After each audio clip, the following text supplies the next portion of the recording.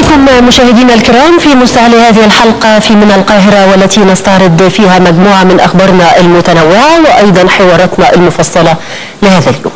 حوارنا الأول والوقفة الحوارية الأولى تتحدث عن قرارات مجلس الدفاع الوطني وقرارات سيادة الرئيس عبد الفتاح السيسي سواء فيما يخص حالة الطوارئ في البلاد لمدة ثلاثة أشهر أو فيما يخص عن تشكيل المجلس الأعلى لمكافحة الإرهاب والتطرف عقب أحداث كنيستي طنطا والأسكندرية. صلاحيات مختلفة ستتضح من خلال القوانين اللازمة التي تمنح هذه الصلاحيات للمجلس الأعلى لمكافحة الإرهاب والتطرف سواء فيما يخص انضباط المجالات كافة في مجال الأمن الإعلام الخطاب الديني وأيضا المجال القضائي. إذا وقفتنا الحوارية الأولى ستكون مع الأستاذ أحمد عز الدين الكاتب والمحلل السياسي حول قرارات سيادة الرئيس بتشكيل المجلس الأعلى لمكافحة الإرهاب والتطرف.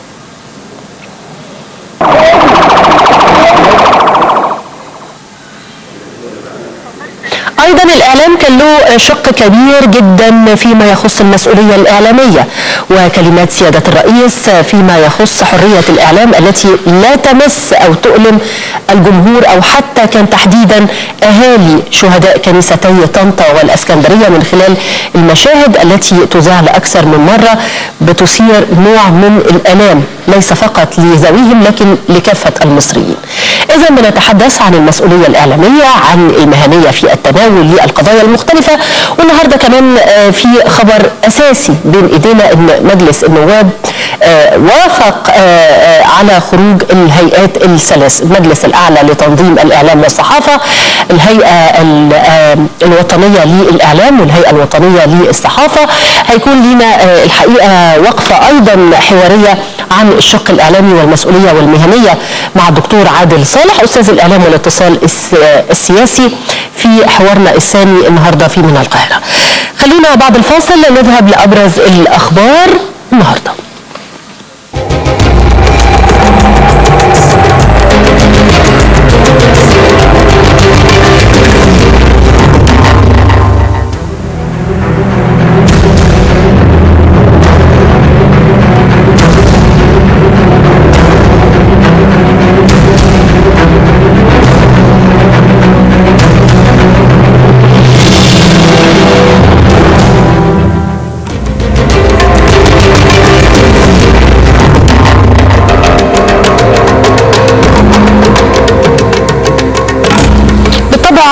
مصر لم تتوقف في ضبط الأداء للوزارات المختلفة أداء الحكومة احتياجات المواطنين والحياة اليومية. سيادة الرئيس عبد الفتاح السيسي أكد أهمية مواصلة جهود تطوير قطاع الكهرباء والارتقاء بالخدمة المقدمة للمواطنين وكذلك الالتزام بالبرنامج الزمني الخاص بتنفيذ خطة تطوير وزيادة طاقة الشبكة القومية وتوزيع الكهرباء لتحسين كفاءة المنظومة في محافظات الصعيد والتوسع في استخدام العدادات الذكية مسبقة الدفع. جاء ذلك خلال اجتماع سيادة الرئيس مع رئيس الوزراء شريف إسماعيل ووزير الكهرباء والطاقة الدكتور محمد شاكر حيث أكد الوزير أن تنفيذ خطة الوزارة لتطوير الشبكة الشبكة القومية لتوزيع الكهرباء ستستغرق ثلاث سنوات بتكلفة تبلغ 37 مليار جنيه. لتحسين كفاءة المنظومة. وأضاف أيضا أن القدرات الكهربية المنتجة أصبحت تكفي استهلاك المواطنين واحتياجات المشروعات الصناعية. دكتور أيمن محمد المتحدث باسم وزارة الكهرباء برحب بيك يا فندم. تحياتي يا فندم لحضرتك أهلا بيك. دكتور أيمن أبرز ما تم في الاجتماع اليوم وحضرتك حدثنا عن كفاءة محطات الكهرباء المختلفة سواء فيما يخص استهلاك المواطنين أو حتى في الاستعداد لتشغيل الطاقات الأكبر في المصانع. في البداية اسمحي لي أتوجه باسم وزارة الكهرباء والعاملين بيها خالص العزاء لأسر الضحايا وتمنياتنا بالشفاء لكل المصابين وثقتنا الكبيرة في مصر والمصريين سعادتها تتخطى كل الصعاب وإن شاء الله مصر تكون في المكان اللي تليق بيها ده بداية يعني. ثانيا من شيء إيجابي طبعا اهتمام القيادة السياسية وسيادة الرئيس بتطوير قطاع الكهرباء ده مش جديد ده من منذ تولين القيادة السياسية نعم. هو ان إن المشروعات ال- ال- الكهربية أو التطوير الكهربي دوت امن قومي ومهم جدا للمشروعات المائيه. إحنا بنتكلم على آه، تطوير بتكلفة كبيرة ومشروعات كبيرة استثمارات كبيرة آه، متمثلة في حوالي 37 و4 مليار جنيه في شبكات النقل والتوزيع آه، وديت بتضمن توصيل التيار الكهربي بالجودة المطلوبة خاصة آه، بعد آه، الحمد لله آه، وصلنا في القطاع الثالث اللي هو الإنتاج الطاقة الكهربية بالمشروعات أيضا الاستثمارية وزي مشروعات سيمنز ودخول قدرات كبيرة أيوة. الأولى 4800 ميجا وات آه، بالإضافة إلى آه، آه، ما تم من صيانة ده سمح للصيانة للوحدات ال- الكهربية أو وحدات ال- ال- إنتاج الطاقة الكهربية في المحطات المنتشرة في جميع مناطق الجمهورية. آه، الجدول الزمني ده بي- بي- بيتيح حاجتين بيتيح آه، استمرار في تطوير التغذيه الكهربية وكمان المحافظه على أصول ال- الشركات. تمام. لكن رغم ده طبعا يعني كل سنة وحضرتك طيب إحنا داخلين على فصل الصيف آه، في بعض الانقطاعات في أحياء مختلفة وفي المحافظات خاصة بالنسبة للصعيد محافظات الصعيد تحديدا. آه، وزير الكهرباء كان له الحقيقة تفسير لهذا الانقطاع ومتى سيتم الحل يا فندم؟ هو طبعا ال- القطاعات ديت مش يعني آه، مش عايز أقولها إن هي آه، آه، قطاعات بسبب تخفيف الأحمال ولكنها لو بنتكلم على جنوب مصر أو صعيد مصر معظم المناطق في صعيد مصر بيتم توصيل الكهرباء التيار الكهرباء عن- طريق شبكات النقل. وهو دوت اللي كان فيه اهتمام بتوفير تمويلات حوالي 18 مليار جنيه لشبكة النقل فقط. آه، إن شاء الله آه، آه، يعني هو من طبعا الخطط تم وضعها وتم تنفيذ جزء منها عايز أقول لحضرتك كان من لغاية شهر اثنين اللي فات كان بي بي بيمد الجزء بتاع جنوب الصعيد حوالي دائرتين فقط دائرتين من الدوائر الفائق شهر اثنين وشهر ثلاثة الماضي تم إضافة دائرتين آه، إضافيتين. بالإضافة إلى في دوائر أخرى جديدة بيتم العمل فيها وإضافة أطوال توازي واضافه جهد كمان. آه تمام. اللي تم إنشائها من خمسه من, من الستينات يعني. فده ده بيضمن إن شاء الله بإذن الله تكون ال- ال- القدرات أو التغذيه الكهربية اللي لصعيد مصر دي القدرات اللي هي المطلوبة بإذن الله إن شاء الله. أشكرك دكتور أيمن محمد المتحدث باسم وزارة الكهرباء والخبر التالي. يتحدث عن قرارات الجمهورية بتشكيل الهيئات الإعلامية الثلاث. أصدر سيادة الرئيس عبد الفتاح السيسي القرارات الجمهورية رقم 158 159 و160 لعام 2017 بتشكيل المجلس الأعلى لتنظيم الإعلام والهيئة الوطنية للصحافة والهيئة الوطنية للإعلام. وفقا لنصوص ومواد القانون 92 لعام 2016 الذي نص على تشكيل المجلس والهيئات المذكورة بناء على ترشيحات مجلس الدولة ومجلس النواب ونقابة الصحفيين والإعلاميين العاملين بالطباعة والصحافة والإعلام والمجلس الأعلى للجامعات ووزارتي الاتصالات والمالية. تم اختيار آه، الكاتب الصحفي مكرم محمد أحمد رئيسا للمجلس الأعلى لتنظيم الإعلام وكرم جبر رئيسا للهيئة الوطنية للصحافة وحسين زين رئيسا للهيئة الوطنية للإعلام. رئيس الوزراء أمام النواب دماء الشهداء ستزيد الحكومة إصرار على اقتلاع جذور الإرهاب. وافق مجلس النواب على قرار رئيس الجمهورية بالإجماع بإعلان حالة الطوارئ في البلاد لمدة ثلاثة أشهر اعتبارا من الساعة الواحدة ظهر أمس. وفي بيانه أمام مجلس النواب قال رئيس الوزراء إن الطوارئ تأتي في إطار إجراءات استثنائية لمواجهه خطر الإرهاب مشيرا إلى أن دماء الشهداء لن تنال من عزيمة المصريين أو إرادة الدولة المصرية بل بالعكس ستزيد من إرادتهم في اجتثاث خطر الإرهاب من جذوره. اسمحوا لي أن أعبر مجددا من خلال مجلسكم الموقر لشعبنا الكريم عن خالص تعازينا القلبية ودعواتنا الصادقة لمن تغمدهم الله تعالى برحمته من أبنائنا الشهداء وتمنياتنا بسرعة الشفاء للجرحى من ضحايا الأحداث الإرهابية الآثمة التي شاهدتها مصر أمس الأول. واستهدفت كنيستي ماري جرجس بطنطا محافظة الغربية وكنيسة ماري مرقس بمحافظة الأسكندرية. وأقول لأسر الضحايا وذويهم من أبناء الوطن مسيحييه ومسلميه إننا معكم قلبا وقالبا. في كل لحظة نشعر بكم ونستشعر أحزانكم ونعايش ألامكم. إن تلك الدماء الطاهرة الزكية التي سالت فداء للوطن لن تذهب هباء أو تضيع سدى. بل ستغدو وقودا يشحذ الهممنا ويعضد عزمنا ويقوي إرادتنا. لاجتثاث خطر الإرهاب واقتلاع جذوره نهائيا من أرضنا الطيبة. أؤكد لكم أن الحكومة تعمل جاهدة بأقصى طاقتها منذ اللحظة الأولى لوقوع تلك الأحداث الغادرة. على توفير أقصى درجات الرعاية والدعم لأسر الشهداء والمصابين.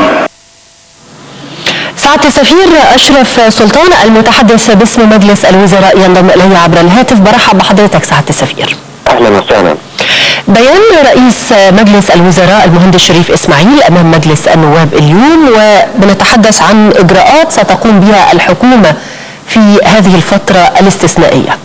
خطة الحكومة على أي نهج ستسير يا فندم في هذه الفترة؟ اولا السيد رئيس الوزراء يعني أحب أقول إنه هو أوضح اليوم إنه في عدة عناصر. واحد إنه طبعا في مواجهة شاملة وكاملة لموضوع الارهاب بتستلزم انه يكون في تجديد للخطاب الديني بتستلزم يكون في تكاتف من كافة قوى المجتمع بتستلزم انه يكون في وسائل أكثر مرونة وأدوات أكثر فعالية لملاحقة الخطر. هناك تنسيق طبعا بين مختلف الجهات الأمنية لمحاربة الإرهاب زي ما قلنا بعناصره بشكل متكامل سواء من خلال الإعلام من خلال التعليم من خلال الإجراءات الأمنية من خلال أحكام الرقابة. يعني هناك استراتيجية قومية يجري بلورتها للعمل على مكافحة الإرهاب. نعم. فيما يخص أهالي الشهداء وحالات الإصابات أو المصابين يا فندم. فيما يخص الشهداء هو تقرر ان يكون في مع يعني بالنسبة لحالات الشهداء والوفيات ان يكون في تعويض قدر 100 ألف جنيه لكل حالة مع معاش الشهداء الذي يبلغ 1500 جنيه لكل حالة. وحتى الآن ما زال هناك تقييم للمبلغ الذي يتم صرفه لحالات الإصابات. نعم. أنا بشكر حضرتك جزيل الشكر السفير أشرف سلطان المتحدث باسم مجلس الوزراء. الخبر التالي من ألمانيا وتحديدا مدينة دورتموند حيث انفجار قنبلة قرب حافلة لفريق دورتموند قبل إجراء مباراة مع فريق موناكو تأجلت المباراة. وقع مساء اليوم الانفجار بالقرب من الحافلة الخاصة بنادي بروسيا دورتموند الألماني الذي كانت تقل اللاعبين إلى ملعب سيجنال لمواجهة فريق موناكو في مباراة ذهاب دور الثمانية من دوري أبطال أوروبا. ذكرت التقارير الأولية أن اللاعب الإسباني مارك بارترا أصيب بجروح إثر هذا الانفجار نقل على إثرها إلى المستشفى. أستاذ أكسم سليمان المحلل السياسي ينضم إلينا من برلين. برحب بحضرتك أستاذ أكسم. مساء الخير. مساء الخير يا فندم. التفاصيل فيما يخص هذا الحادث وهل بالفعل حالة إصابة واحدة في اللاعب الإسباني ولا في المزيد من الإصابات؟ لا الأمر المؤكد هو أن هناك حالة إصابة واحدة هي هذا اللاعب الإسباني وأن الإصابة لم تحدث من خلال شظية أو ما شابه وإنما بسبب تحطم زجاج نوافذ الحافلة وسقوط أجزاء من هذا الزجاج على هذا اللاعب. وفق شهادة لاعب كان إلى جانبه وقت وقوع الحادثة. بمعنى آخر الجروح لا يمكن أن تكون سطحية وهو الجريح الوحيد. حتى الآن هذا لا يخفف من وقع الصدمة طبعا لكن يخفف ربما من شأن الحدث بحد ذاته نعم الحدث في حد ذاته حجمه. مدى مدى الحجم لهذا الحدث؟ وكيف آه، يتناوله آه، الداخل الألماني؟ هل آه، بتشير أصابع الاتهام لعمل إرهابي؟ هل في نوع من التحقيقات الأولية أظهرت أي من المؤشرات حوله؟ الشرطة الألمانية طالبت المواطنين بعدم الإمعان في التكهنات ونشر الشائعات وما إلى ذلك.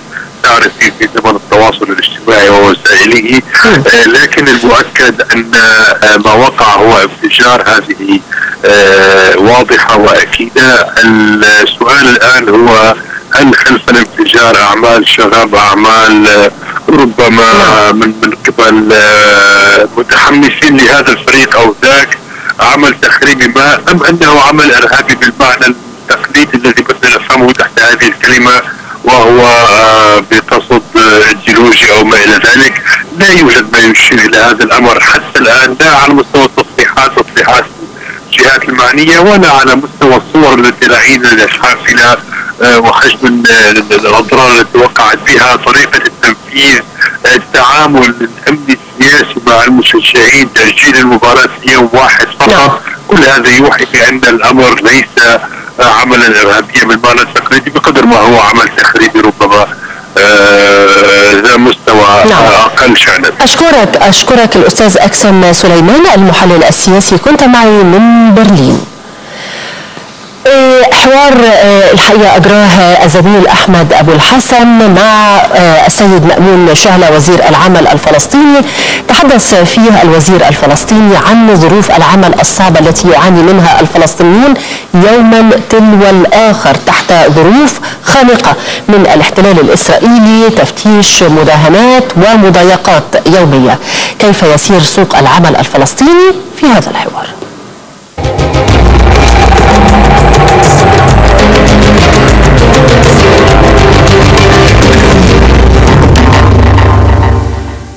أعزائي المشاهدين أهلا بكم من مؤتمر العمل العربي المنعقد عقد في جمهورية العربية في دورته الرابعة والأربعين. ويسعدنا في هذا اللقاء أن نلتقي مع السيد مأمون أبو شهلة وزير العمل الفلسطيني. أهلا بحضرتك أهلا وسهلا أخي الكريم. حياك الله. سيادة الوزير آه، بالتأكيد آه، هذا المؤتمر له دلالات آه، كبرى فيما يتعلق بتوفير فرص عمل للشباب بشكل عام في آه، الدول العربية. أهم ما خرج به هذا المؤتمر من توصيات. شوف أخي الكريم خليني أعطي بس خلفية بسيطة عن الوضع العام عندنا في فلسطين. إحنا الفلسطين في العالم حوالي 12 13 مليون نصفنا نعيش داخل فلسطين التاريخية وللأسف تحت الاحتلال الإسرائيلي سواء في غزة أو الضفة أو القدس. أبنائنا اللي موجودين داخل الأرض المحتلة في فلسطين حاليا بالرغم من وجود اتفاق أوسلو اللي أعقب وجود الحكومة الفلسطينية إلا أننا عمليا عن قطاع غزة محاصرين. لا يوجد جندي إسرائيلي في داخل قطاع غزة لكن أصبحت غزة سجن سجن كبير والسجان هو ال- الإسرائيلي اللي بحاصرنا برا وبحرا وجوا في الضفة الغربية للأسف الشديد أكثر من 65% من مساحة الضفة الغربية إسرائيل رفضت أن تسلمها لنا ووسعت فيها الاستيطان لدرجة أن هناك حاليا في الضفة الغربية مستوطنين في بعض المناطق أكثر من المواطنين.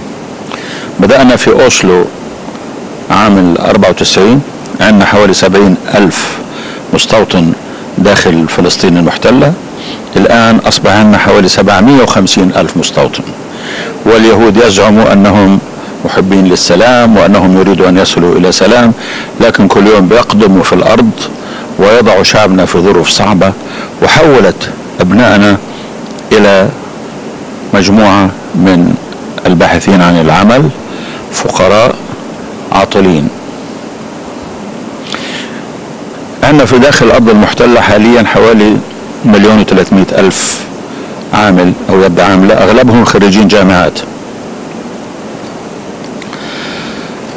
من هؤلاء يوجد في الوقت الحاضر نسبة كبيرة يرزحوا تحت البطالة. والبطالة بالنسبة لنا في فلسطين مش مجرد انكسار اقتصادي ولا نفسي هي للأسف الشديد في كل الدنيا البطالة أسوأ ما بيواجه أي مجتمع لكن في فلسطين هي أسوأ من ذلك بكثير لأنها تدخل في صلب العمل الوطني. الإنسان الذي لا يعمل هو مشروع إما ليصبح إرهابي أو فاسد بكل المقاييس الوطنية والأخلاقية. وعليه إحنا كحكومة فلسطينية في الوقت الحاضر نعمل جهدنا لنجد لأبنائنا حياة كريمة. البعض يظن أن الحل هو في التوظيف. التوظيف غير ممكن في ظروفنا لأنه الحكومة الآن في ترهل وظيفي لأن يعني أكثر من 200 ألف يعملوا في الحكومة والقطاع العام. والاقتصاد الفلسطيني أو القطاع الخاص الفلسطيني هش وضعيف وفرجايل ولا يستطيع أن يعطي فرص عمل للشباب لأنه بالإجراءات الإسرائيلية بالحصار الإسرائيلي بالضغط الإسرائيلي ممنهج. إحنا مؤسساتنا الاقتصادية ضعيفة. أكثر من 95% من مؤسساتنا الاقتصادية تشغل أقل من 20 عامل. في كل فلسطين المؤسسات التي تشغل أكثر من 100 عامل لا يتجاوز عددها 214 مؤسسة اقتصادية. هذا يدل على مقدار المشكلة التي وضعتنا فيها إسرائيل قاصدة لأنها تريد إما أن تحول أبنائنا إلى ناس محبطين منكسرين أو يهاجروا ويتركوا المكان لإسرائيل يأتي من أثيوبيا أو من بولندا أو من رومانيا إلى آخره. وعليه إحنا عندنا مشكلة بطالة حقيقية وبالذات في أوساط الشباب وبالذات في أوساط الخريجين. ولو أقول لحضرتك حاجة في غزة لسه الصورة أبشع بكثير من الضفة الغربية لأنه في بعض أبنائنا في الضفة الغربية للأسف ولا أقولها وأشعر بالفخر يعملوا وراء الخط الأخضر يعني داخل إسرائيل وهؤلاء الناس حوالي 150 ألف يعملوا في ألف. إحنا بنسميها دي دي دي ديرتي ودينجرس وديفيكولت هذه الوظائف يعني بتعطيهم حتى أجور قليلة وإن كانت بمقاييس الوضع الاقتصادي تعتبر مرتفعة لأنه العامل الفلسطيني إذا اشتغل داخل الضفة الغربية ممكن يحصل على حوالي 20 دولار في اليوم إلى 30 دولار. لو اشتغل داخل الخط الأخضر في داخل إسرائيل بيحصل حوالي 200 إلى 300 وهذا الكلام للأسف الشديد سببه أن العالم الذي قدم كل المساعدات لإسرائيل وحرمنا منها من سنة 48 حتى الآن بدأنا إحنا, إحنا والإسرائيليين إحنا كنا في وضع اقتصادي أفضل منهم سنة 48 هم الآن 40 ضعف أكثر ثراء منا وهذا بسبب نقص ما لدينا من إمكانيات منع الاستثمارات في بلدنا. الاستثمارات ممنوعة أبنائنا في الخارج ممنوعين الدخول على الوطن حتى زيارة وبالتالي أصبحت استشرى الفقر والبطالة. عفوا سيادة الوزير يعني لكن هناك في الفترة الأخيرة هناك العديد من بروتوكولات التعاون المشترك بين الدول العربية فيما يتعلق بالاستثمار وأيضا بالعمل في معظم الدول العربية ويعني في محاولة للقضاء على البطالة يعني بالتأكيد هذه البروتوكولات الخاصة بإتاحة العديد من فرص العمل لها تأثير أيضا إيجابي فيما يتعلق بالشباب الفلسطيني. أنا يعني آمل أن يكون ذلك حقيقة وآمل أن يكون ذلك على أرض الواقع موجود في الدول العربية المختلفة. لكن أكد لك أننا في فلسطين معزولين. هناك دعم قليل يأتي إلينا وهذا الموضوع موضوع سياسي بامتياز. إسرائيل تمنع عنا كل أنواع المساعدات وتمنع عنا كل أنواع الاتفاقيات مع غير مع الدول الأخرى. إسرائيل تزعم أنها لا تقبل أن تتعامل إلا مع الدول التي تعترف بها وأغلب الدول العربية لا تعترف بإسرائيل وبالتالي لا يمكن أن يكون هناك أي نوع من العلاقة. الناس يمكن ما بيعرفوش إنه إحنا تحت الاحتلال. يعني عارف إيش معناه تحت الاحتلال؟ يعني جواز سفري بطاقة الهوية. المعبر المطار الميناء الجمارك الشيكل هو العملة اللي بنتعامل فيها الصادرات الواردات الرسوم الجمارك كله بيد إسرائيل. إحنا كفلسطينيين إحنا للأسف الشديد إرادتنا قوية وإرادتنا عالية ونرفض وعصيين على الاستسلام وعلى الانكسار لكن إن إحنا بنعاني من معاناة شديدة جدا جدا وأنا بطلب من إخواني العرب في جميع أنحاء العالم العربي أن يفهموا ظروف الشعب الفلسطيني.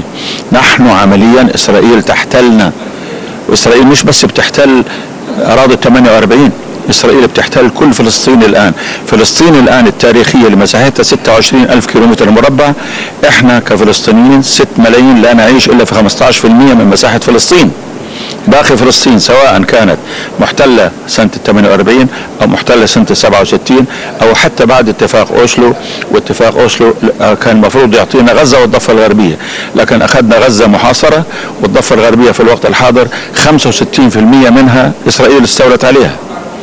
وكل زي ما قلت لحضرتك أنا لما بسافر لازم آخد إذن من الإسرائيليين لما لما آخد تنسيق مع الإسرائيليين جواز سفري صادر عنهم لما بدي أستورد بضاعه لازم تمر من خلالهم الرسوم اللي بدفعها من خلالهم بدفعها أول لهم بعدين هم بخصموا ما يشاءوا وبيبعتوا لي الباقي وبالتالي إحنا في وضع صعب.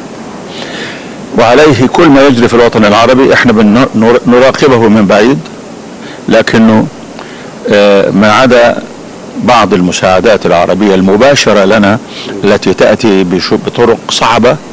إحنا للأسف الشديد في حصار موريا صعب وحياة أبنائنا يعني بالكاد إحنا صامدون.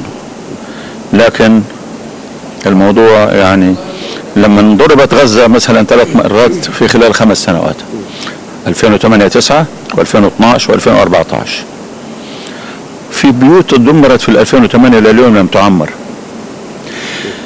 كان في مؤتمر في القاهرة في 2014 بعد الحرب الأخيرة وتعهدت الدول العربية والعالم أن يقدموا لنا مساعدات بحدود 5.4 من عشرة مليار دولار لإعادة إعمار غزة.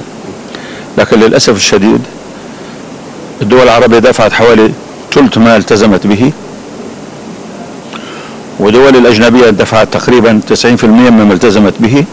لكن هذا كله حتى هذه اللحظة هناك الكثير من البيوت مهدمة الناس لا تجد مكان تسكن فيه. فمش بس تشتغل مش مش بس تنتج ومش بس يكون لها ورش لأنه إسرائيل دمرت الورش ودمرت المصانع والطرق ومحطات المجاري والكهرباء والمياه كل شيء.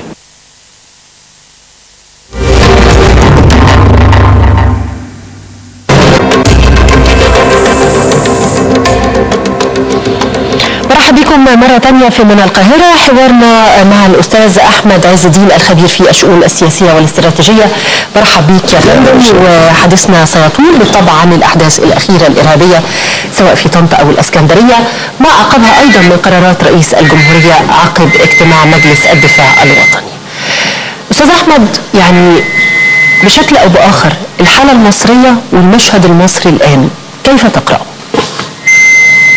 أنا عايز أبدأ الحقيقة من القرار نفسه يعني من اجتماع مجلس الأمن الوطني الذي ترتب عليه البيان الذي أصدره السيد الرئيس ثم القرارين الأساسيين الموجودين فيه وهو تفعيل إصدار قانون تفعيل حالة الطوارئ. لأن حالة الطوارئ موجودة أصلا ولها بنود وسابقة التجهيز. اللي بيحصل بالظبط مش قانون ده قانون لتفعيل الحالة كما هي موجوده تمام. أنا بقول كده إيه الحقيقة؟ لأن وجهات نظر كثيرة أصبحت يعني لا ترى الموقف في عمقه الحقيقي فبتبص للمسألة يعني مثلا حد يقول لك هناك تفجيران حدث في كنيستين يعني هل يستدعي هذا الموقف؟ إعلان تفعيل حالة طوارئ في البلاد. تفعيل حالة الطوارئ يتم عندما يكون الكيان الوطني مهددا مثلا. ثم في كنيسة قبل كده اللي فيها المقر البابوي في القاهرة سبق أن البطرسية البطرسية من ستة أشهر ومع هذا لم يصدر مثل هذا. إيه الجديد ولم يعلن عنه في هذا؟ شوف الناس بتتصور أن مجلس الدفاع الوطني بيجتمع فبيقرأ شوية ورق فبيشرب شوية شاي فب... فبعد كده يقعدوا يقولوا شوية آراء فيتخذوا قرار بهذا الشكل ويطلع الرئيس يقول. لا قرار بهذا الشكل إلا أن يكون مستندا إلى تقدير موقف. يعني من مجموع الرؤى والتقديرات الموجودة لدى الدولة المصرية بأجهزتها وأذرعها وقرون استشعارها المختلفة في الداخل والخارج في الآخر خالص بيبقى في تقدير موقف بينبني عليه القرار. القرارين والبيان بيستندوا إلى تقدير موقف. طب أين هو تقدير الموقف؟ ما هو أعلنش تقدير الموقف. وهو طبيعي يبقى في نوع من السريه طبعا يدور داخل مجلس الدفاع الوطني. لو انت قرأتي بعمق شوية البيان نفسه الكلمة التي ألقاها الرئيس عبد الفتاح السيسي هتلاقيه استخدم أربع كلمات محددة. هذه الكلمات أنا أعتقد أنها ملخص تقدير الموقف. قال إننا في مواجهة لما أقول مواجهة يعني في تحديات. في تضحيات. ده- صحيح. قال إحنا في مواجهة نمرة واحد وصفها بأنها طويلة. واسعه أيوه صح. كويس؟ طويلة. واسعه متواصلة. مؤلمة. صحيح. الأربع كلمات دول ممكن لو انت انتبهت لهم بدقة شديدة يعطوكي إيه تقدير الموقف اللي اتبنى عليه؟ هذه القرارين لما أقول إن أنا عندي مواجهة مع تحديات أو تهديدات هذه التهديدات تتسم بأنها واسعة بمعنى أنها لا تتعلق بكنيسه أو بجامع أو بمكان جغرافي محدد وإنما تتسع للكيان الوطني كله. نعم. وذكر سيادة الرئيس ساعتها ب 3 7 والتفويض بمحاربة الإرهاب وبالتالي التفويض على كافه ال- الأوجه وكافة الأصعدة.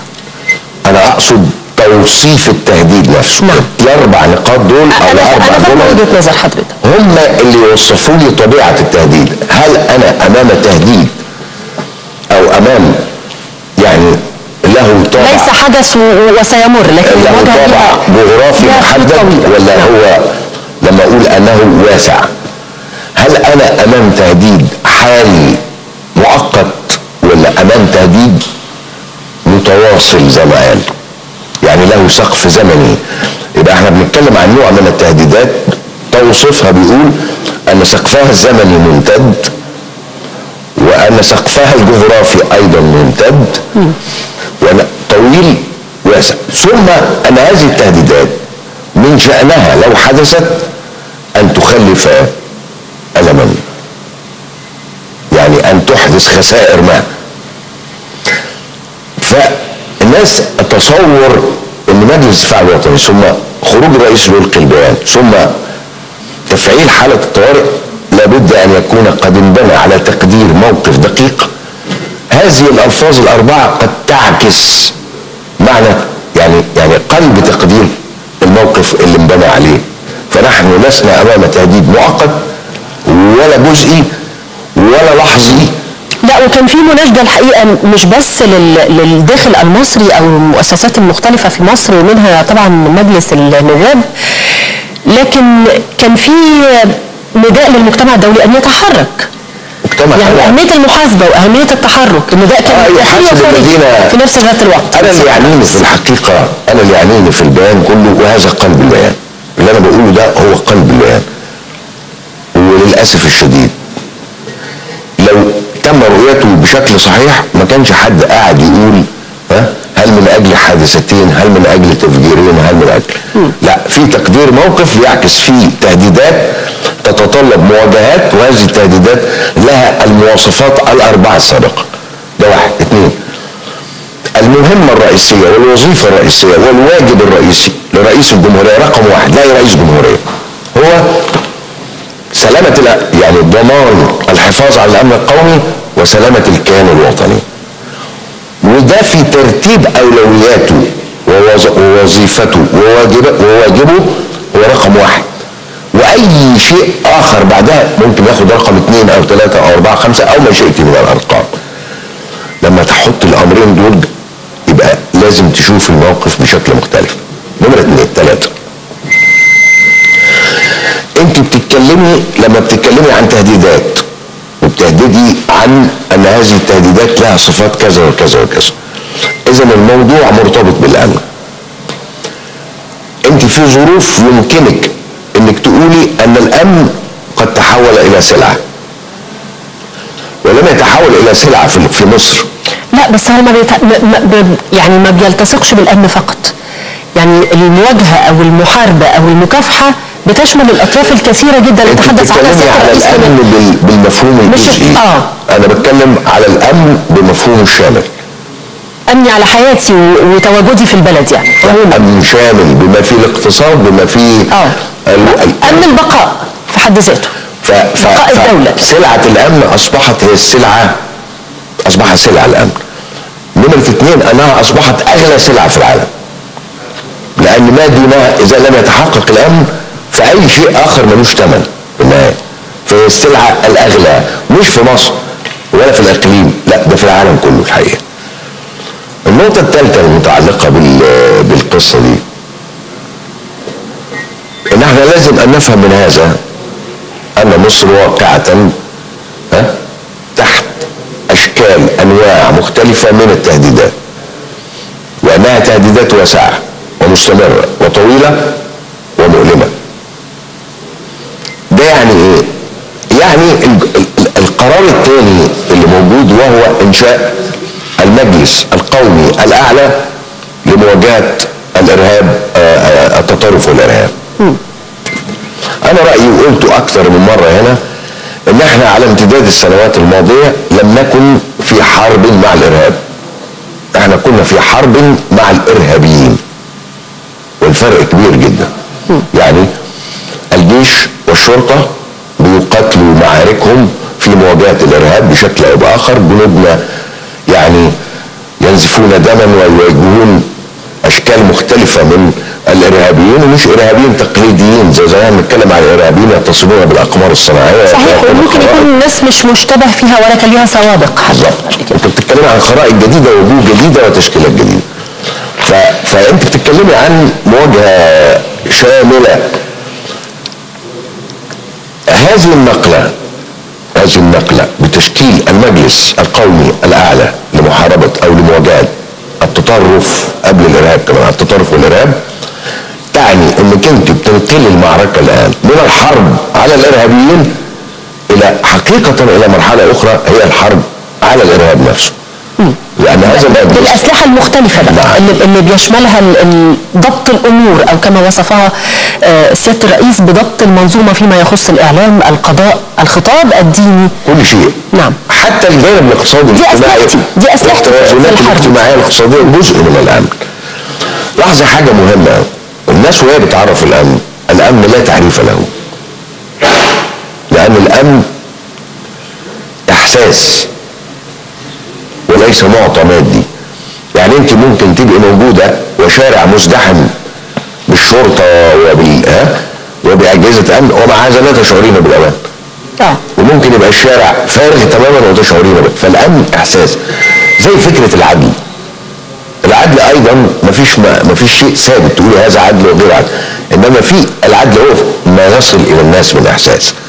ولهذا المصريين اللي ابتكروا فكرة الميزان بتاع العدل اللي هو الرمز للتوازن والتساوي اللي محطوط على آه، المحاكم وهم في الحقيقة الفراعنة ما ابتكروهوش بس لفكرة العدل في الدنيا إنما ابتكروه لفكرة العدل حتى في الآخرة. الخلود. في الحياة الأخرى وفي الخلود حتى قبل ما الأنبياء ينزلوا والوحي والمرسلين إلى آخره أستاذ أحمد بتتوقع إيه من صلاحيات صحيح التشكيل لم يظهر بعد بالنسبة للمجلس القومي الأعلى لمحاربة الإرهاب والتطرف ولا ال- ال- القوانين اللي هتمهد له هذه الصلاحيات في المناحي كافه أنا مش مشغول قوي بال بال, بال بس هو الرئيس قال أنه سيأخذ صلاحياته كاملة يعني.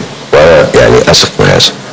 لكن الوظيفة بتاعته محددة في الحرب على الإرهاب في مواجهة التطرف والارهاب اذا هي مسؤولية فكرية ثقافية سياسية اقتصادية اجتماعية إلى آخره يعني. نعم. وبتنسيق كامل شوفي أنت بتديري في طوال فترة طويلة معركتك بطريقة إدارة الأزمة. هذا المجلس يمكن أن يشكل جهاز إنذار مبكر للأزمات مش بتتعاملي مع الأزمة عند وقوعها. في فرق كبير قوي في استشعار من قبل. نعم في فرق كبير من بين المنهجين. منهج أن تديري أزمة وأن تتوقعي أزمة ويبقى عندك أجهزة رصد متوقعة لهذه الأزمة وتداعياتها وشكلها وتكويناتها جزء من وظيفة هذا الجهاز. ولهذا بقدر أهمية المعلومة والمعلومة شيء ثمين للغاية. خلي بالك الناس بتتصور أن أجهزة المخابرات مثلا في العالم مهمتها إنها تتجسس وإنها تتابع الناس و ده يعني 98% من شغل أجهزة المخابرات غير معلومات. ويصل دورها في جمع المعلومة إلى استخدام القوة في الحصول عليها. إلى هذه الدرجه لأن المعلومة هي التي في الآخر بتديكي تقدير موقف ماذا تفعلين. بس لو عندك معلومة وعندك تقدير موقف وما عندكيش منهج للرؤية وعقل وتفكير ها؟ لا يمكن أن تسيء استخدامها. أو ممكن إنك أنت لا تستخدمي أو لا توجهيها بشكل صحيح. طب يعني معنى كده إن أنت بتعول على الوعي. داخل داخل داخل الفرد أو داخل المجتمع كمان. لأن ممكن تكون معلومة بسيطة جدا محدش مقدر مدى خطورتها. أو. إذا ما جمعت مع العديد من المعلومات ممكن تخرج بيها بنتيجة الأجهزة ال- في عمل في عمل الأمن القومي المسألة مختلفة. يعني أنا مثلا وأنا بعمل تقدير موقف أو حد بيعمل تقدير موقف لظاهرة ما لوضع ما. بيبقى عنده سيناريو اسوا السيناريو الأسوأ. السيناريو الأسوأ ممكن يبقى نسبته 5% لكن في الترتيب المنهجي الصحيح في عمل الأمن القومي إن السيناريو الأسوأ يوضع في الترتيب الأول. أنا مش برتب المخاطر بحسب أو بخ... برتب السيناريوهات بحسب نسبتها. لأني في حرب. أيوه. فلازم لا أحط الأسوأ عامة بالنسبة لي. عامة هضرب لك مثلا أي قائد سريد دفاع جوي صغير قد كده هو بيحط أمر قتاله بيحط فيه إنه هيواجه طائرات من على جميع الارتفاعات من جميع الأنواع تأتي من جميع الاتجاهات هتستخدم كافة الأسلحة. وهذا أمر يبلغ درجة الاستحالة. بس ده السيناريو الأسوأ. لما بيجي يرتب أوضاعه بيرتبها في ضوء هذا السيناريو الأسوأ. الأسوأ. فشغل الأمن القومي كده. أحيانا المسألة ما بتبقاش كده إن السيناريو الأسوأ منهجيا أنت ترتبيه في الآخر على أنه السيناريو الأضعف. فلما يقع ما تبقيش متحسبة له. مهمة جزء من مهمة هذا هو ترتيب هذه السيناريوهات. يعني ولهذا العمل الفكري مهم جدا في هذه المسألة. نعم. العقل الفكري مهم جدا في هذه لكن المسألة. محتاج كمان تضافر جهود تنظيمية لأنه بيتدخل في كذا جهة. يعني المجلس الأعلى سيجمع في طيات ضوابط للقضاء للإعلام وأيضا للخطاب الديني. وعندما نتحدث عن خطاب ديني اذا بنتحدث عن فكر وعن ثقافة وعن تقبل للآخر في جميع الاتجاهات.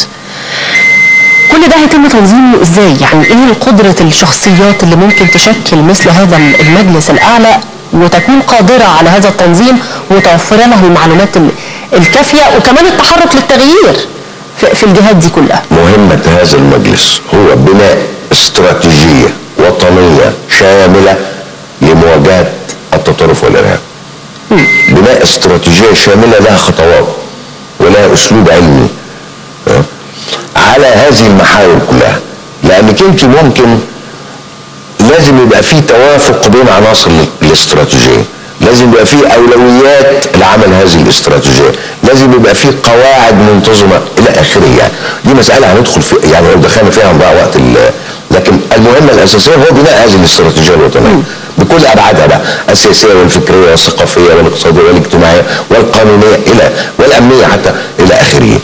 أنت بتجمعي كل عناصر الظاهرة في وعاء واحد عشان تتفاعل وتصوغ استراتيجية هامله للمجتمع ده كلام اذا جميل مفهوم حالة الطوارئ. بالنسبة لل- للمواطن العادي في الشارع. ما هو التخويف الآن؟ يعني في عملية تخويف من حاله الطوارئ. في كتابات إن حاله الطوارئ س ولهذا شوفي حالة الطوارئ وضعت في إطار تقدير موقف استراتيجي موجود يتطلب تفعيل حالة الطوارئ. تنفيذ حالة طوارئ ينبغي أن يتم في إطار المهمة أو الهدف المحدد الذي تم تفعيل حالة الطوارئ من أجلها ليه؟ لأن ده اللي هيشعر الناس بالأمن فعلا. يعني مثلا أضرب مثلا. لما يخرج رئيس مجلس الشعب بعد 15 دقيقة من من تفعيل قرار حالة طوارئ ويحيل قضية تيران وصنافير إلى اللجنة القانونية كل اللي عايز يقول أن حالة الطوارئ دي شرعت أو فعلت لأسباب أخرى لا علاقة لا بالارهاب ولا بالتهديدات وإنما لفرض نوع من آه يعني قوة السلطة على المجتمع ممكن أن يجد مبررا في هذا مع إن الكلام مش صحيح. فالقصة محتاجة حكمة.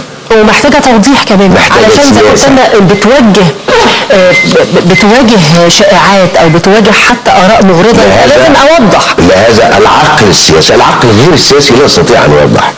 محتاج عقل سياسي لكي يوضح. النقطة الثانية اللي أنا عايز أقوله والمهم إن إحنا نقوله إن الوضع في مصر يعني تصور يعني شوف الإعلام شغال مثلا على ما حدث في الكنيسة في الكنيستين. على أساس تشريح الجريمة. مع إن دي مش مهمته ممكن تبقى جزء مهمته. فأنت في الآخر بتبعتري بتبعثري صورة التهديد بقت المسألة الكاميرا ال- ال- اللي وقف على الباب ده هو اللي انفجر ولا اللي جنبه؟ ده إحنا لما وقفنا الشريط طلع الانفجار وهو ما. انت دخلتي في جزئيات فتت الصورة العامة اللي المفروض توصل للناس. فاهمة فاهمة؟ لا أنا بكلمك بالمطلق ما هو ده برضو اللي بيستلزم استراتيجيه في التناول. طبعاً. إحنا هيكون لنا حوار مفصل طبعا عن الإعلام ومسؤولياته ومهنيته في ممارسة المهنة لكن كمان الحدث الأكبر كان النهارده بتنظيم المجلس الأعلى أنا مش بتكلم عن تنظيم المجلس الأعلى بس ده جزء من من ضبط المنظومة يا فندم. إحنا قدامنا أو قدامنا الآن اللي أنا عايز أقوله ان ما يحدث في مصر ليس منفصلا عن البيئة الاستراتيجية الموجودة في الإقليم. الذي يحدث في مصر الآن والتفجيرين ليسوا عملين إرهابيين قام بهما شابين قد نسخ أو نسخ عقل كل منهما. لا دول مجرد أدوات صغيرة جدا في منظومة كبيرة جدا لأجهزة مخابرات كبيرة جدا. فالتصغير من الموقف في إطار أن هناك مخلوقين. تم يعني الواد جه من الكويت استلمناه ما استلمناهوش صدرناه أنت بتفتتي الصورة. ينبغي أن يصل الناس فهم أن مصر واقعة مستهدفة. باختصار شديد مستهدفة وهي تعيش الآن في بيئة إقليمية ساخنة وملتهبة ومتغيرة وواقعة تحت التهديد كلها. يعني مثلا هقول لك لما لما لما الإسرائيليين امبارح يطلبوا أو بعد الحادث يطلبوا من كل الإسرائيليين الموجودين في سيناء أن يخرجوا لأن هناك عملا إرهابيا كبيرا. ثم انجل الموقف ويقولوا إن في صاروخ أرسل أطلق من سيناء على جنوب إسرائيل. لما النهارده السفارة الأمريكية على موقعها الرسمي قبل دقائق بتحذر الرعايا الأمريكيين أن يدخلوا في آه، أن يقتربوا من المساجد والكنائس ودور العبادة والأماكن الشعبية العامة. ومين اللي بيثير ال- الناس في مصر؟ هو إيه إيه هو إيه الإسلام؟ مصر آمنة والناس ماشية في الشوارع. مصر آمنة وتتنفس الصعداء والناس يتجولون في الشوارع وفي الحوانيت وفي السينمات وفي كل مكان. على في تصعيد. اليوم أيضا ممنهج بس طبعا السفارة الأمريكية بتقول لرعاياها في غزة أخرجوا غادروا غزة فورا. في دبابات أمريكية وقوات أردنية على حدود سوريا الآن. في جنوب سوريا تريد أن تصنع منطقة آمنة بالقوى المسلحة. هقول لك ما هو ما هو ما, ما يمكن أن يفهم عشان نفهم. لأن الكلام عن ان ضرب الكنيستين هو ضرب للوحدة الوطنية. هذا أقل الأهداف. ليه؟ الإنجليز يعرفون تماما السبيكة الوطنية المصرية المتماسكة. الإنجليز وهم محتلين ولديهم قوات عسكرية في مصر. ومحتلين البلاد ومسيطرين عليها. الشعب سلطتها المصري. لم يستطيعوا في لحظة إنهم يعملوا وقيعة بين المسلمين وبين المسيحيين. على وجه الإطلاق. وهم يعرفون أن هذه الس... اذا في هدف استراتيجي أهم من تفكيك هذه السبيكة غير القابلة للتفكيك. هقول لك الضربة التي توجهتها وجهها سلاح الجو الأمريكي آه، بصواريخ توماهوك المطار السوري الذي. يشكل 25% من القوى الجوية السورية. 25% وهو مطار مشترك بين القوات السورية والقوات الروسية. ب 59 ولا 58 صاروخ توماهوك كل صاروخ من الصواريخ دي على فكرة هذه الكمية ما كانتش ضرورية أصلا. كل صاروخ من الصواريخ دي في 165 قنبلة عنقودية. انت متخيلة؟ وهو, وهو صاروخ مخصص لضرب ما لا يضرب بالقنابل حضرتك يعني. عايز تربط أحداث الاقليم كلها أنا هقول باحداث مصر كمان اسمحي لي هقول ثلاث حاجات مهمين جدا. ان ننتبه لهم. في ما أذاعه الرئيس الأمريكي فيما قاله الرئيس الأمريكي سواء في إبلاغه للكونجرس أو في ما كتبه على موقعه. ثلاث حاجات. الحاجة الأولى أن الضربة هدفها إضعاف القوى الجوية السورية. لما تقولي لي أنا جاي أحارب الإرهاب وفي قوة وطنية في دولة ما بتحارب الإرهاب. مش المفروض أضعفها؟ سوى تضعفها؟ لا يبقى أنت مش جاي تحارب الإرهاب. وخصوصا أن هذه القوة كانت بتضرب في منطقة ادلب اللي عايزة تستقل. النقطة الثانية المهمة. لما تيجي تقول لي أن هذه الضربة لخدمة الأمن القومي الأمريكي يبقى أنت بتعود بمفهوم الأمن مرة أخرى إلى الأمن المطلق. يعني اذا مفيش حاجة اسمها ردع في المنطقة. أمن مطلق يعني تلغي أمن الآخرين. الأخطر في النقطة الثالثة ودي التي ينبغي أن نضعها نصب اعيننا تقول تعيد مرة ثانية تجديد عامل استخدام القوة دون قانون دولي وهو العامل الإنساني. اذا لو تعثر غير مصري في منطقة هناك عامل إنساني للتدخل. لو كان في سينا شيء يعني يفتعله الغرب ليقول أن هناك عامل إنساني هنا يستحق أنت بت... عشان يدي نفسه ذريعة إن هو يتدخل. أنت دلوقتي. بتقنني بالثلاث نقط اللي أنا بقولك بتقنني قوانين جديدة تصير بتراكمها فاعلة في الإقليم. حتى التفجيرات اللي جوه مصر. وحتى الاكراه السياسي والاقتصادي والاجتماعي الذي ورث على مصر كل كل ده حلوله إيه؟ تحديات الإقليم واضحة. وتسارع الأحداث لا برضه أنا عايز واضح أقول حاجة. معلش. أنا فاهم قصد حضرتك. لا ينبغي أن يكون لدينا فهم أن هناك تهدئة قادمه في الإقليم. الحديث عن تهدئة وتسويات غير صحيحة. وحتى التهدئة والتسويات المطروحة هي تهدئة جزئية وتسويات ناقصة. أنا في مصر المفروض أتعامل إزاي؟ أنا في؟ مصر اولا ينبغي ألا يزعجني ما يحدث في الإقليم لدرجة أن أقرر أن أسحب أطرافي وأن أتصور أن يعني انسحابي إلى الداخل معناها أنني بعيد عن الزلزال. لأن الزلازل تتحرك تحت الأرض. ده واحد. أنا مغموس في قضايا هذه المنطقة.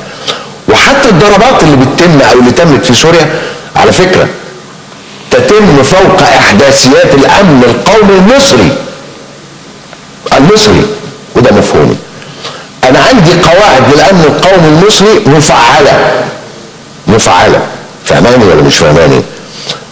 لهذا الناس اللي كانوا بيتكلموا في لحظة من اللحظات وفي أسابيع قديمة وشهور وما زال هذا الحديث أنتوا بتنفقوا أموالكم على القوات المسلحة ليه؟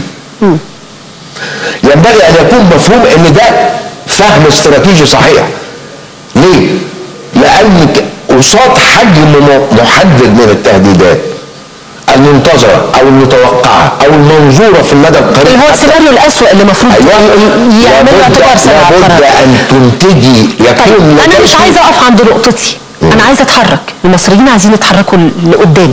ايا ما كانت التحديات سواء في الداخل أو في الخارج. المفروض على كل فرد إيه؟ والسؤال ده هو اللي مفروض هنختم بيه. بصي مصر الموحدة الموحدة.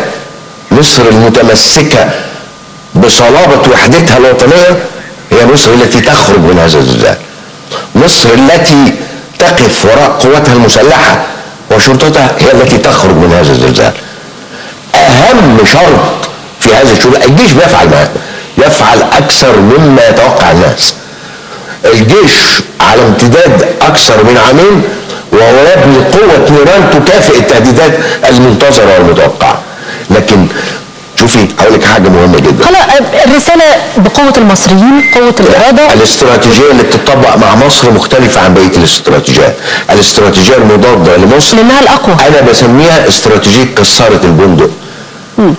عليك مش هتقدري تكسري صلابة مصر دون ضغط من الخارج وضغط متعامد من الداخل. حافظ إن شاء الله. على مصر. بإذن الله احفظها طبعا. هيحفظها من كل سوء ودايما الرفعة تكون لمصر على مر العصور. الحقيقة إحنا مش بنتكلم. عن تحدي أخير لكن مصر مر عليها كتير مصر قادرة مصر على مر عليها ومنازلة وده تاريخها الوطني على امتداد سبعة ألاف سنة. هذا الشعب يدق الأرض بكعابه قدام أي تحدي ويقف في الصفوف الأولى ولا يعني شيء إلا وطنه. بشكرك يا فندم جزيل الشكر الأستاذ أحمد عز الدين الخبير في الشؤون السياسية والاستراتيجيه حواراتنا ما زالت مستمرة الحوار الآخر يتحدث عن سلاح ليس بالقدر الكافي من المسؤولية في تناول بعض الأحداث. الإعلام وخطورته وأيضا كيف يفعل كجهاز في مواجهة ومحاربة الإرهاب آه، بالاستراتيجية الأمثل في هذه المرحلة التي ليس فقط لمصر تمر بها ولكن أيضا لدول الإقليم كافة. حديثي سيمتد مع الدكتور عادل صالح أستاذ الإعلام والاتصال السياسي بعد اللحظات.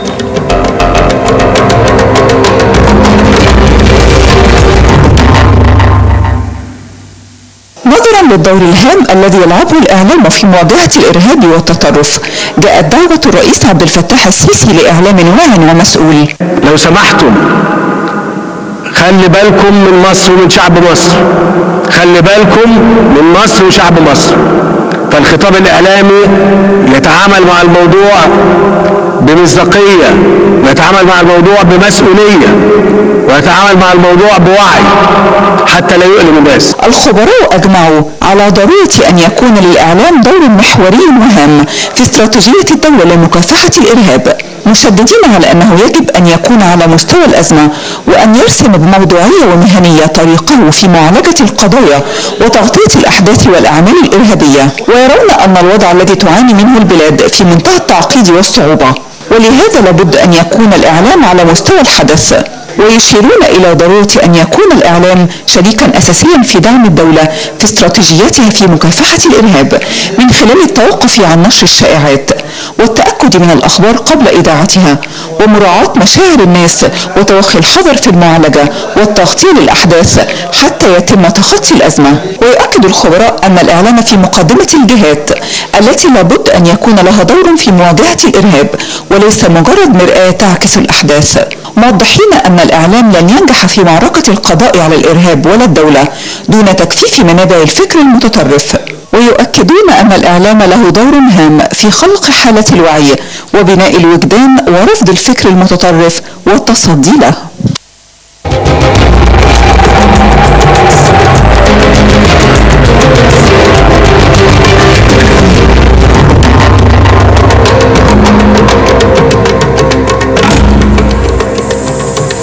إذا عندما أتحدث عن الإعلام أتحدث عن مفرداته الكلمة الصورة المصدر من يتحدث والقائم بالاتصال والوسيلة الإعلامية وجمهور مستهدف.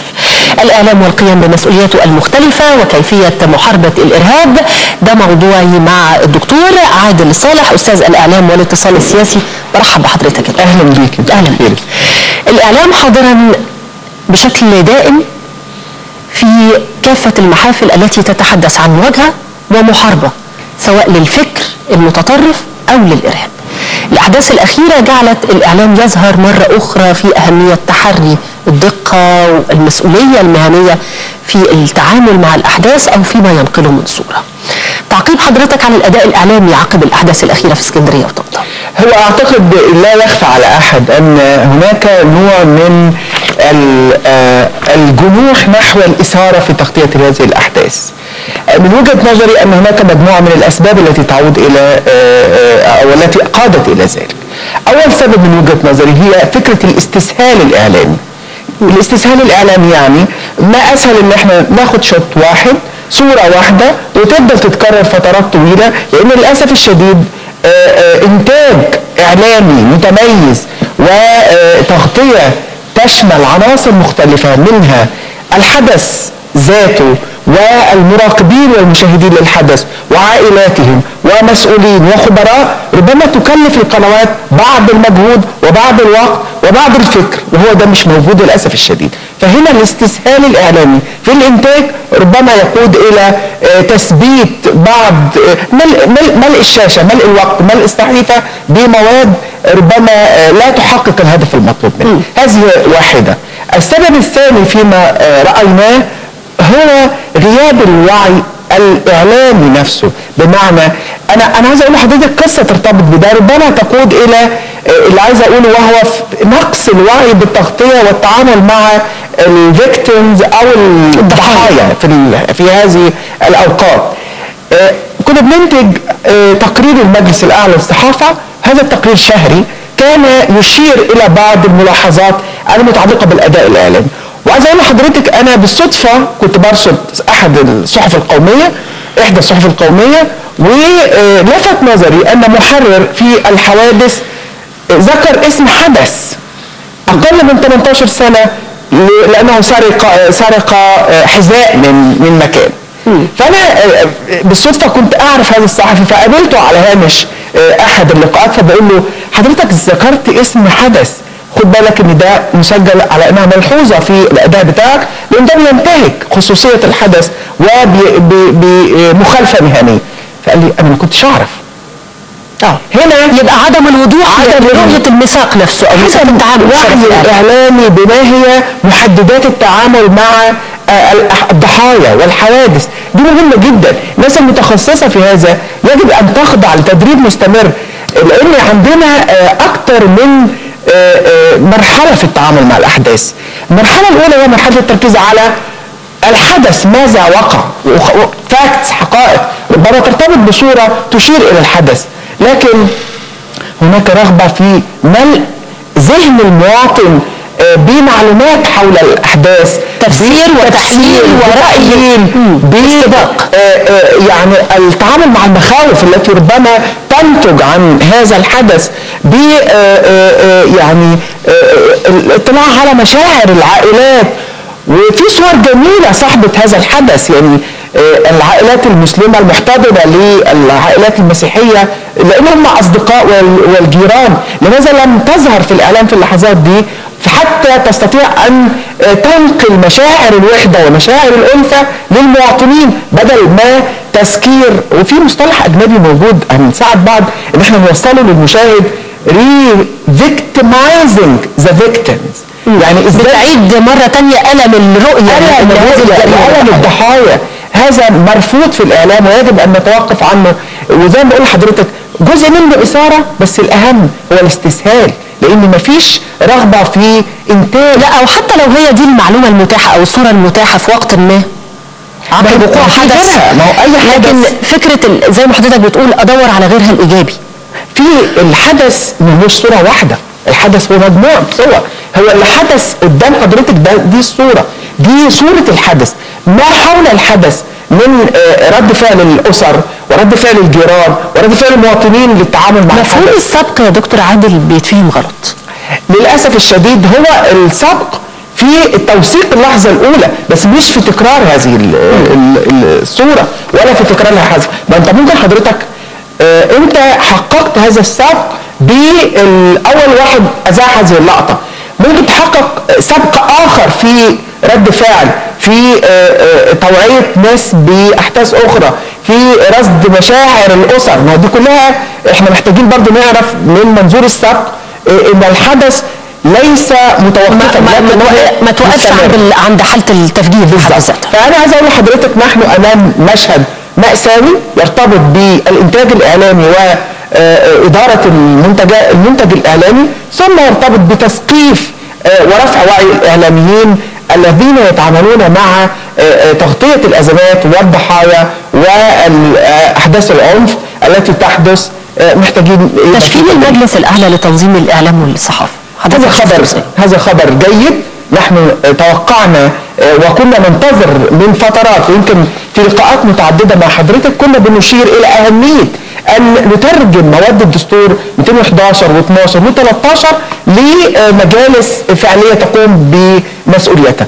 أنا أستبشر خيرا إن شاء الله آه، هذه هذه الخطوة المنتظرة أن آه، تخرج لنا بأطر مختلفة لضبط الأداء الإعلامي آه، هذه الأطر تشمل اطر متعلقة ب آه، آه، يعني منح التراخيص ومنح ال ال ال آه، آه، وإطلاق براء يعني وسائل الاعلام والتمويل وإنتاج البرامج والمراقبة والمحاسبة للمخالفات المهنية ووضع المواثيق وتفعيلها لأن آه، الميثاق في حد ذاته لم يضمن أداء اعلامي منضبط لكن آه، المتابعة والمحاسبة واعتقد أن دي كلها مهام ننتظرها من المجال استجد فيها بشكل أو بآخر من خلال الهيئة الوطنية للإعلام أو الهيئة الوطنية للصحافة المنبثقة عن المجلس الأعلى لتنظيم الإعلام الإعلام الرقمي وخطورة هذه المواقع. إذا كنا بنتحدث عن فضاء مفتوح ليس من خلال الأقمار الصناعية بالطبع فقط لكن خدمات الإنترنت والمصادر المختلفة. أنا عندي تحدي مختلف. مصدر المعلومة ومن يتحدث ومن يتواصل معه. إزاي هقدر اضبط المنظومة دي تحديدا لوسيلة إعلام حديثة زي الانترنت خلينا بس نتفق على حاجة. إن كل ما تأخر الإعلام التقليدي في تأدية وظيفته في ملء الفراغ في إعطاء المواطنين المعلومات كل ما قوى دور وسائل التواصل الاجتماعي. هذه حقيقة يجب أن نشير إليها. وبالتالي اما عشان نتعامل مع الواقع اللي حضرتك بتقوليه لازم الأول نقوي الوسائل التقليدية في القيام تلفزيون راديو صحف التلفزيون والصحف ووسائل المطبوعه وحضرتك هذه الأهمية في الغرب لوسائل التواصل ليست بالأهمية اللي في مجتمع زي المجتمع المصري ليه؟ لأن الوسائل التقليدية تقوم بدورها تشبع رغبة المواطنين في المعلومات وبالتالي ليس هناك حاجة لتغيير فلسفة التواصل الاجتماعي الذي يجب أن يركز على آه، يعني انترتينمنت وتسليه وامتاع إلى أن هو يتدخل يبقى وسيط لنقل معلومات سياسية. هو بيبقى مصدر وبيبقى مستقبل في نفس الوقت. آه للأسف. فأنا بقول لحضرتك يبقى عشان نضبط هذا الأداء الأول نقوي الإعلام التقليدي عشان يقوم بدوره زي كل دول العالم ما هو موجود فيها. طيب هنا هتقل الأهمية وتقل خطوره ال- الإعلام الرقمي شوية. ويقل إحساسهم بأهميته في تشكيل البابليك سفير أو المجال العام لأن إحنا عندنا إشكالية هم دلوقتي يعني الناشطين والمستخدمين وسائل التواصل الاجتماعي يشعرون بالقوة ربما قوة تفوق وسائل الإعلام التقليدية. هذه القوة محتاجة الأول يبرهن على أنها ليست قوة حقيقية وأن المشاهد وأن المستمع وأن القارئ يتابع وسائل الإعلام التقليدية. دي الخطوة الأولى فتقل أهميته ويشعر أنه آه، يعني له دور ولكن دوره عادي ومحدود جدا في هذا الاتجاه. بي- بيقل التفاعلية فيه بتقل فبينجذب. للوسيلة الأخرى وهو بيتحول بعد شوية إلى اطاره الطبيعي إلى اطاره العالمي اللي موجود فيه وهو أنه جزء من المجال العام وليس كل المجال العام. طيب الحل هل ستستطيع الوسائل التقليدية أن تنافس الإعلام الرقمي وبالتالي تجذب وبتحجب نوع من الخطورة اللي انت واقع فيها. بكل تأكيد. بس بشروط. يعني ما هو آه، أنا زي ما بقول لحضرتك أنت ما زلت كتلفزيون لك آه، أفضلية على كل الوسائل الأخرى. لكن بشروط معينة. ما هي هذه الشروط؟ الشروط ترتبط بإنتاج إعلامي قريب من المواطن قريب من الناس. زي ما بتقول لحضرتك يعني نملأ الفراغ ال- ال- الإعلامي بتواصل مباشر مع الناس بالنزول للشارع بتوفير إمكانيات للمراسلين والإعلاميين إن هم ينتجوا حاجات تعبر عن الشارع وحاجات فيها مصداقية وحاجات فيها آه، يعني آه، صورة حقيقية لما يحدث في الشارع. آه، دي شروط للتلفزيون. قس على ذلك الإذاعة محتاجة تقدم برامج خدميه أكتر محتاجة تتفاعل أكتر مع المواطنين. وعايز أقول لحضرتك إنتاجها أسهل. تكلفتها أسهل. وتكلفتها أسهل. وعايز أقول لحضرتك خبر كويس إن الإذاعة ابتدت إلى حد ما في الفترة الأخيرة بالتغيير الذي حدث في بعض ال- البرامج والتفاعل المباشر مع المواطنين أن تجتذب كثيرا من حتى الفئات الشبابية وفي والمثقفين إلى حد ما. وده خبر كويس يبرهن على أن الإعلام التقليدي ما زال يمتلك لا وانتشارها كمان بقى بالشكل ال- الأوسع. الرياضه رجعت يمكن مرة لحب بصراحة ال- سعيد الاثير له سحره وله نوع من ال- من التواصل مع الناس ويمكن فرض علينا ظروف ال- الحياة اليومية وال- والتكدس في الشوارع المختلفة إن على طول الناس بقت فاتحة وفي الإذاعة الانتشار ف- بشكل أكبر. لكن لما بتكلم عن وسائل الإعلام يا دكتور عادل دايما بنتكلم عن الملكية وتدخلها. أساليب التمويل وأين هي هذه المصادر التي تمول منها الوسيلة الإعلامية؟ وكيفية تدخلها في سياستها التحريرية. القضية دي شائكة وبتمس الاعلام الخاص تحديدا خلينا نكون صراحة. إعلام الدولة معروف مصادر تمويله معروف سياساته إلى حد كبير جدا إن هو بيسير في اتجاه آه، آه، الدولة والمواطن والجمهور. ما بيدورش على ربحية ما بيدورش على سبق على حساب جذب إعلانات. كل هذه الأمور معروفة. إزاي الضبط؟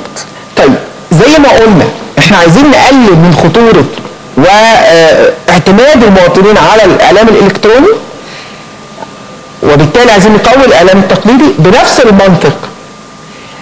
خطورة الإعلام الخاص تتمثل في أن الإعلام إعلام الخدمة الأع- العامة إعلام الشعب إعلام المواطنين لا يحقق نفس الميزة التنافسية مع الإعلام الخاص. فأنا من وجهة نظري لا بديل إلا تقوية الإعلام الخ- الإعلام الخدمة العامة.